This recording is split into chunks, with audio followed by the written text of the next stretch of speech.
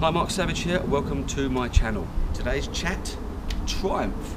I've had a few Triumphs, but this is the Sprint ST. Had the GT videos on my channel. I've had a few Tigers, again videos on my channel. I've had a Daytona and then a Mark 1 ST. This is a 2008 model. These ones came out in 2005. Now it's a 1050cc engine, synthetic 1040 oil, um, general tyres, 120, 180, stuff like that. Only 125 brake. And that's not a mega lot, but you know what? When you open this baby up, you do feel it. And there's obviously lots of extras you can get for these, tuning, different exhausts. But all round, they're not bad little bikes. They ride quite well. You can do two up. You've got luggage with this one. You've got panniers. Let's have a quick look round. From the front, very nice looking. I do like the old indicators in the wind mirrors. I also like the triple light here at the front. The outside lights are your main and the middle light is your high beam. Usual 120 by 70 by 17 front wheel. Double brakes as well, disc either side. Six speed gearbox, goes through them quite well to be honest with you. Someone's put a complete bar here.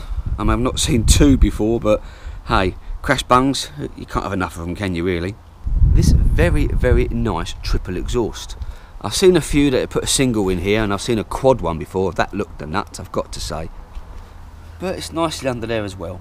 It's very beautiful single arm rear suspension on here that shows the back wheel.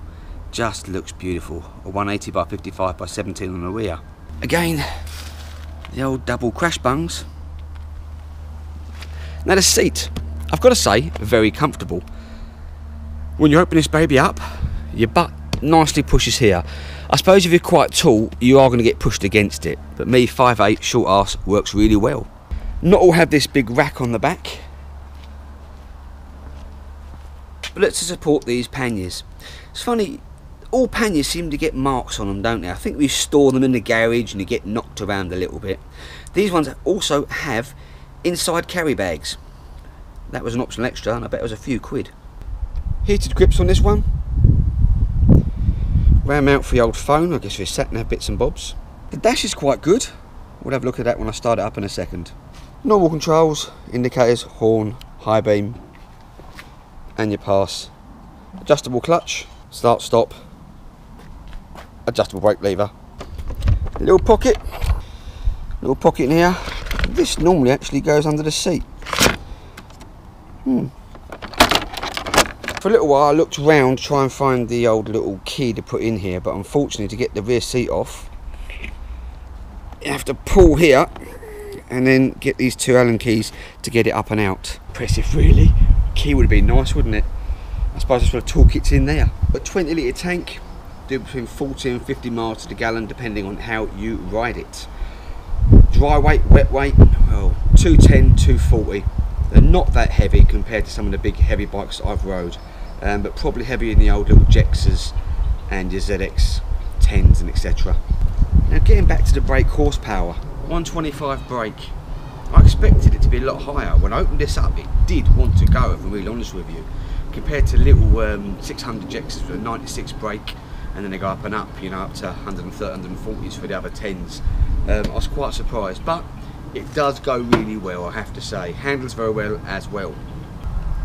Alarm, Datatool. Triumph seem to like having the Datatool alarms, all these. So you've got to press it.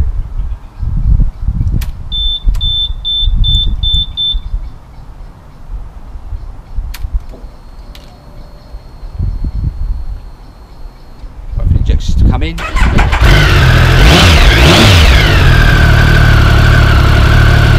bad sound.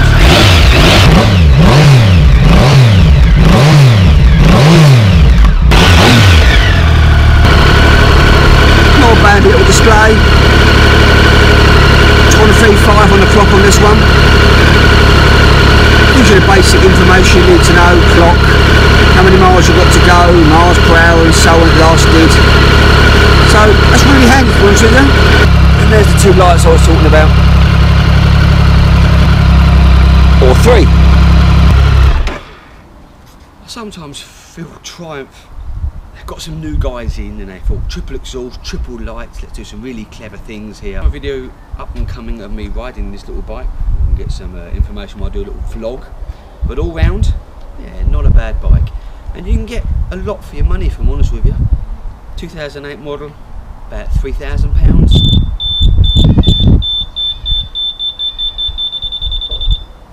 Bloody alarm. Comes free though. and you can get back boxes and all sorts for these. Um, I've seen a couple, as I said earlier, where they put a single exhaust in. I'd rather the uh, quad. That sounded nice. Say it's not got a little bad grunt to it. Is it as comfortable as my little Tiger 800? Absolutely not. I've been riding these adventure style bikes for quite some time now and I suppose I've got used to the up sitting of them you know nice comfortable seat amazingly soft suspension um, so when I got on there I had to lift my legs right up in the air wrists felt a little bit I've got to say because I've been riding these for a long long time now um, but the plus is the acceleration um, the sportiness and the smile factor was great. These you have to give them some to get them where they want to go, but you've got the wind protection and everything else, and you're not feeling every single bump on the road. So there's pros and cons to every single bike. Will I keep my little Tiger? Yes, I will. So, on that note, keep my Tiger, have a little bit of fun on that over the summer months. And there's a really quick little review. As I said, next one I'll go for a little ride on it and thank you so much for staying with me 9,300 subscribers now 2.5 odd million views and over 430 videos. So there's something for everybody on my channel now. Sorry for my subbies that um, often ask where my videos are. I've just not had much to look at to be honest with you. People want silly money for the price of the bikes. Um, they're not that good. And they've got lots of problems wrong with them and I'm just not interested in that. And getting my hands dirty well I still enjoy that. Um, but I've been playing in the uh, garage with my weights and so on. So anyway, take care of yourselves on the road. Sun's coming out soon. Enjoy yourselves. Hi, Mark Savage here. Welcome to my channel. Today's chat, Triumph ST. But I quite enjoy these STs. Sports Tourer, great Tourer for the GT, Grand Tourer. Hmm. Someone has put the complete bar on here for the old sliders this very, very beautiful mono side ex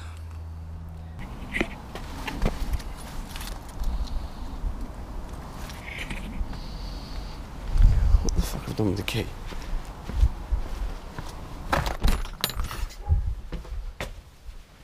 Took the key out, I got no idea what I did with it.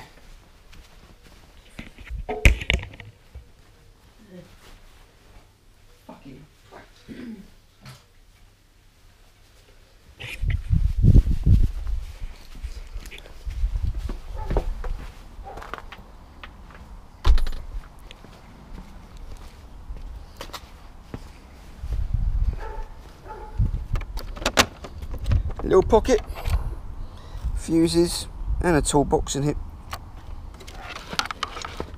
125.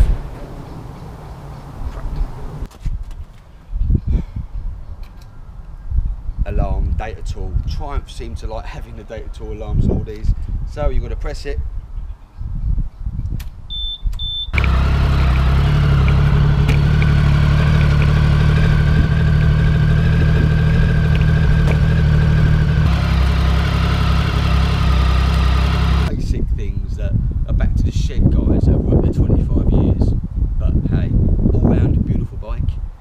video coming up me riding it. Um, Go 800, absolutely not. Little ride on it, and thank you so much for staying with me. I'm sorry for the guys that take care of yourselves on the road. Sun's coming out soon. Enjoy yourselves.